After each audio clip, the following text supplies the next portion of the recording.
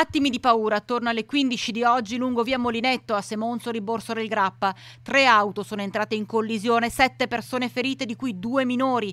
Due donne di 38 e 56 anni e un uomo di 31 anni sono stati condotti all'ospedale San Giacomo Apostolo di Castelfranco Veneto.